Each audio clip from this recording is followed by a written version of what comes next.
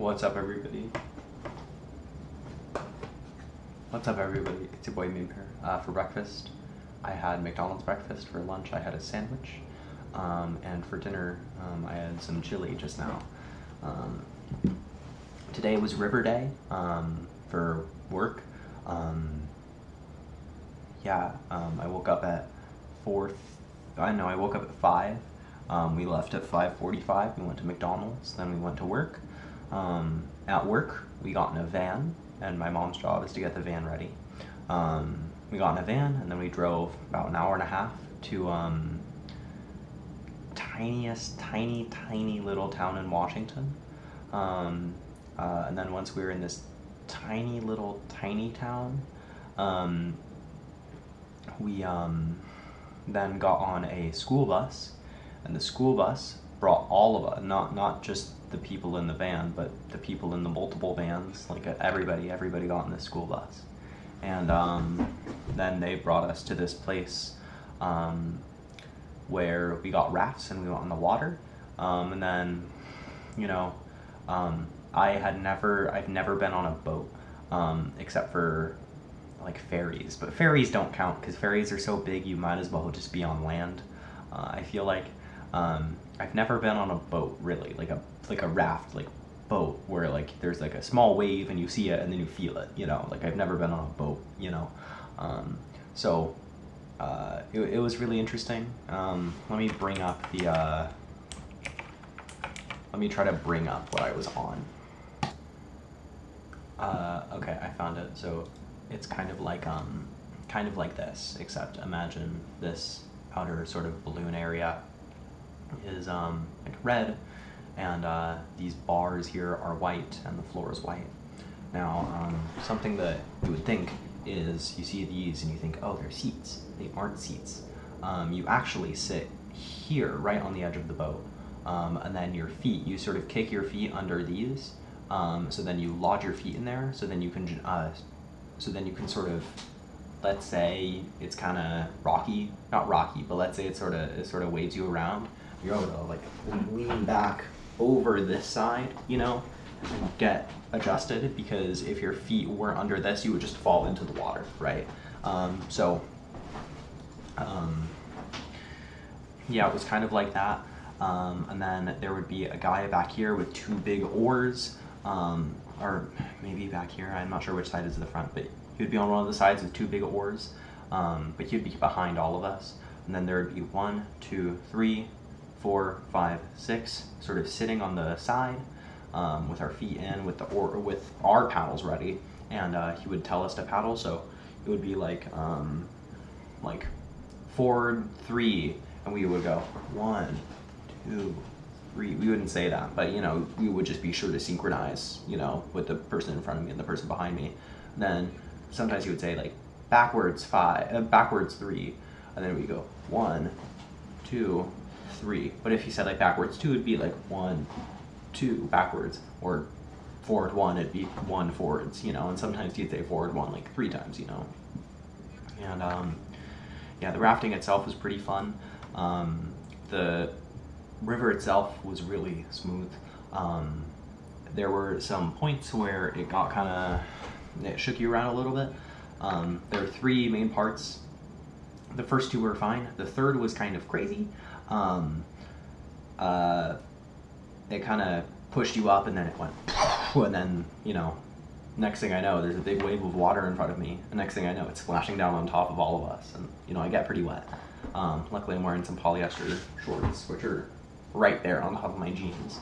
Um, and I was wearing um, a polyester Columbia t-shirt that um, my mom and I got at the mall um, last weekend.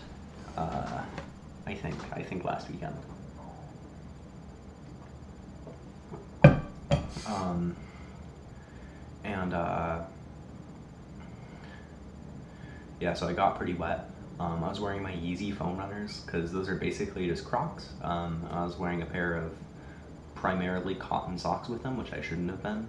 Um, you know, when they say don't wear cotton, they really, really mean it.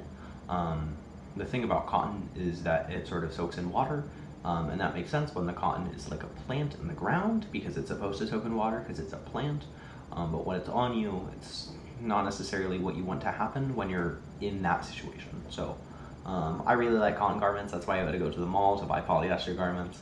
But um, you know, uh, when you're in a situation like that, you you gotta wear um, artificial materials so then the water doesn't soak in. Yeah, and, and, make you make you cold, colder than you need to be, right?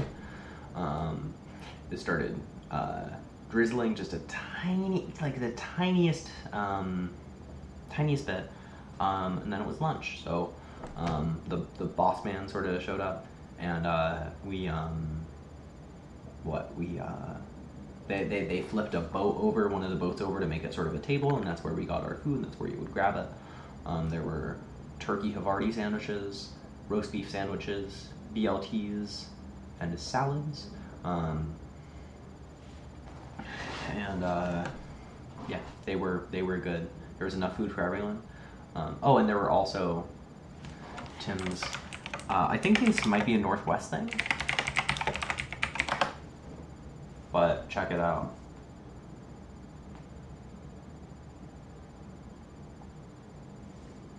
Oh, hold up. Yeah, their production facilities are located in the U.S. state of Washington. So, um, yeah, it's uh, it's these chips. Original, original, original. It, it, was actually this exact bag of chips. It was two big boxes of these, and uh, they were pretty good. Um,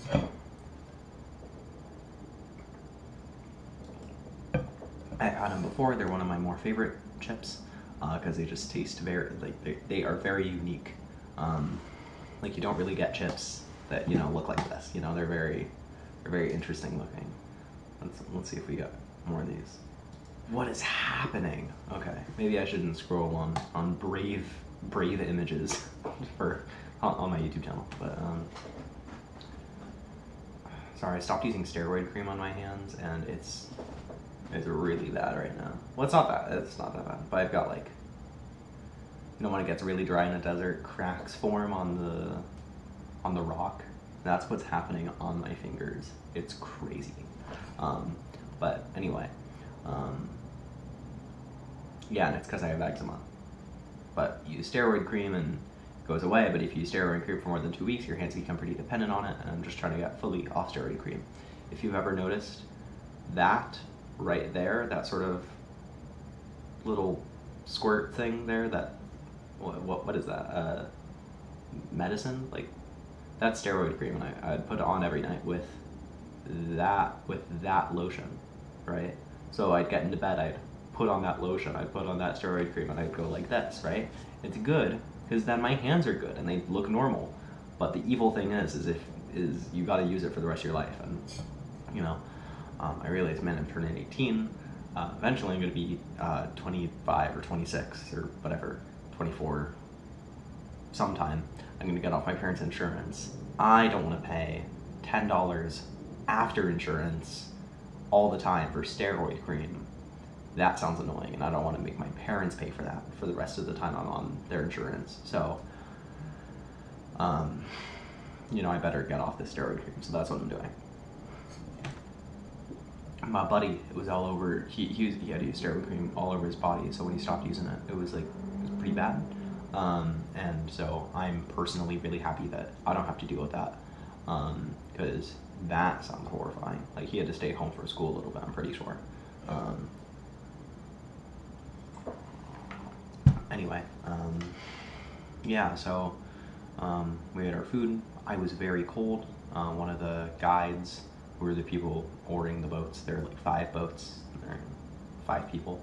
One of the guys was like, "Hey, I have a spare blanket. Does anybody want a blanket?" I was very, I was like very cold, and um, you know, everybody I work with is very smart, and they're very smart engineer type people, and they do like field work in places like where I was. But that was the first time I was ever in a place like that. Um, and for, for the record, there are lots of mountains, lots of not like cold mountains, not like snowy mountains, but just like hills with trees. Um, I wonder if I search rural, rural Washington. Oh man, it just shows farms.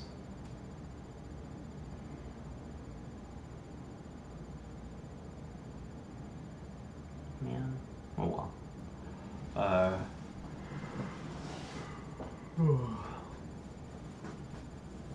But um, it was very cold. I got a blanket. I warmed up. Um, and then I did whitewater training. I think it was called whitewater. I think.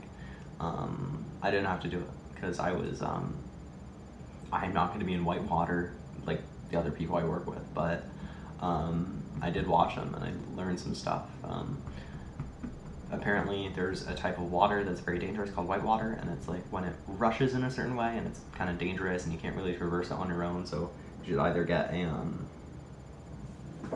like a or use that as a walking stick. That's as little protection as you should have.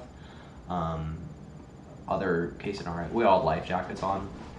Um, you would grab, you would get another person, you would grab their life jacket, like where it straps here, and they would grab yours, and you would just sort of walk on, shimmy across the white water, or you do that with three people, um, and that's the safest because if one person falls, they could just help you grab up, and it's um, it's good. Um, but uh, yeah, so people learned how to do that. They also learned um, if someone's falling down the, the river, um, you don't want to get your foot trapped in anything, so you kind of keep, stay back, kind of float up, because you, you're always going to have a life jacket on. Um, and someone will throw a, uh, some, some paracord at you, and you, you grab the paracord, and you, uh, they, they uh, the people are good at it, so they're just able to throw it on your shoulder and go like this. I didn't have to do this, but I just saw people do it um, and then they pull you in. So that, that's how you would be saved in that situation. Um, he also said that, um, you know, if you get trapped in white water, it's pretty fatal. So uh, be sure you're very careful. Um, uh, and yeah, then we're on rafts. After that, it was very, very calm, very pretty, very picturesque if like there was a Seinfeld episode, like some sort of sitcom episode, where they all went rafting, it would look it looked like that. It was very pretty, um, and uh, you know we just went out and about. What am I saying? Um, and then eventually we got back um, to the vans. Uh, we ended up at this bridge, and that's where the vans were. So, um, yeah. Uh, oh, I, they also did some rock jumping, but I didn't.